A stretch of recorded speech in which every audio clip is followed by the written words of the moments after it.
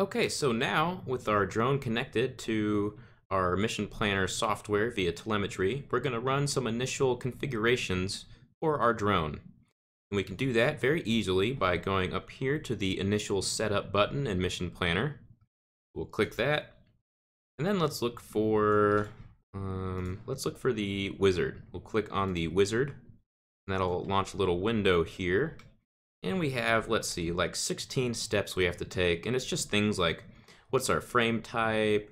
Um, we have to calibrate some sensors, our magnetometer and our accelerometer, stuff like that.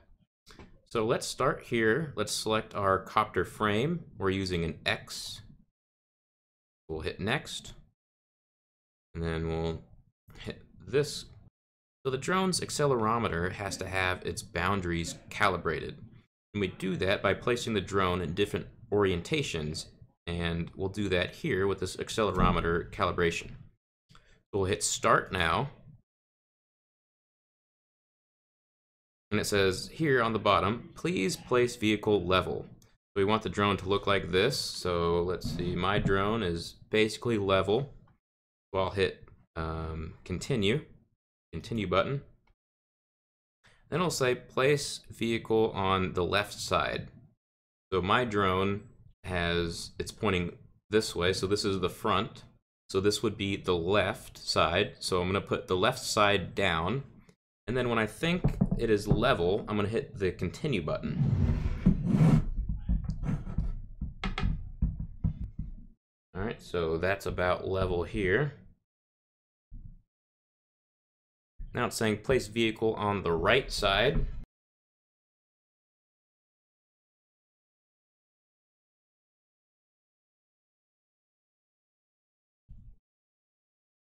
This doesn't have to be perfect.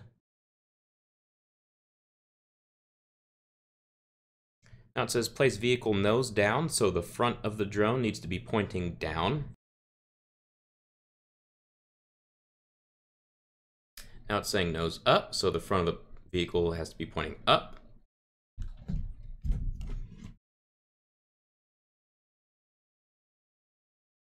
Now this is kind of the trickiest one because you have your uh, GPS on the back side of the drone, but it wants you to flip the drone upside down and hold it level.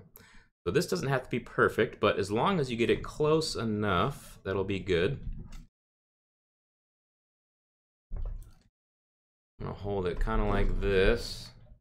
It looks pretty level to me, so I'm gonna hit continue now. Now we're done. Now we're done with the accelerometer calibration. So now we'll go to the next step of the setup wizard. And we're doing a compass calibration. So what we do here is we'll do a, we'll hit the live calibration button and we'll just kind of take our drone and just put it in all sorts of weird uh, configurations and geometries in the air. And once the calibration gets enough data points, then your compass has been calibrated and you can go to the next step. So let's do live calibration now. All right, so we'll pick this up and you'll see the progress of the calibration on the map below. All right, there you go. You'll see in the, and this is a little bit difficult when it's connected via wires. You just want to move that drone all over the place so you can get those data points. I can't do this in this in this um, vision of my webcam because I don't have enough slack on the power line, but I just have the drone in my hand and I'm moving it all around, kind of like this, and I'll get upside down, Okay, then when it's done, it'll calibrate your magnetometer. So we have new offsets for our compass, so it basically calibrates it. We'll hit OK. Then we'll go to the next step. I think we have the PX4 um, battery monitor. What sensor are we using? We're not really using one. What's the size of our battery uh, in milliamp hours? Well, mine is 3000 milliamp hours. Yours might be different. We'll put that here and then click next. We don't have sonar, so we don't have to worry about this. We'll just say none. All right, now we need to calibrate our um, RC endpoints of our receiver, our transceiver. We'll hit continue, and really you should take off all your props because we're going to be um, messing with the RC receiver. We wouldn't want the props to start spinning on us, so we should take all these off. And let's grab our RC uh, transmitter. We'll turn it on now. need to make sure all of our switches are um, placed up in the up position or this particular receiver or transmitter won't turn on. And now let's go ahead and click the calibrate radio. All right, we'll hit OK, hit OK. All right, let's start with the throttle. Now we're gonna put, we're gonna tell our program the lowest point of our throttle. This is channel three, up and down and then the highest point of our throttle. And you could see how the endpoints actually changed on the um, throttle bars of this radio calibration screen. So a way to calibrate this would just to be to go in all four corners of the left stick. So we're calibrating all the endpoints for channels three and four. And then once you feel good about that calibration, we'll do the same on the right stick. We'll just go in all four corners of this right stick. Okay, and then we have, so those are four channels we just calibrated. We have two more channels to calibrate since this is a six channel transmitter. So you might not know which one, which one of these knobs or switches is currently set up as channels five and six.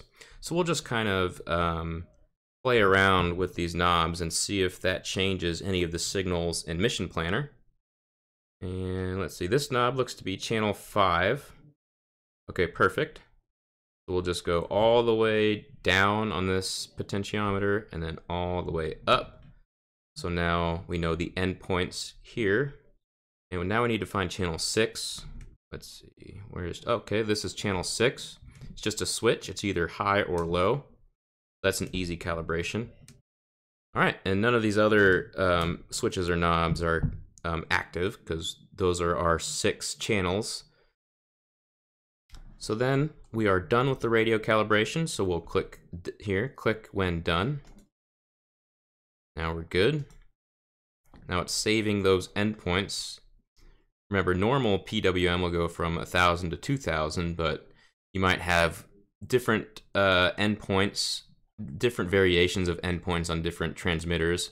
Some might have low point of 1004 and a high point of 1996. So you need to find those specific endpoints in order to have um, accurate flight control. Okay, now we're done with that. We'll go to the next step. Now we can set our flight modes. For now, let's just keep all these in stabilize and flight mode 6, we'll hit return to launch. And we'll just hit save. We'll, we'll change this in the future. Okay, now it wants us to do an arming test. Now, this you definitely want to make sure your props are off because arming will make the props start spinning. And we can't arm it right now. We'll figure out at a later time why we're not able to arm it. And then we won't enable geofencing. And then after that, we're finished. All right, so you have set up the vehicle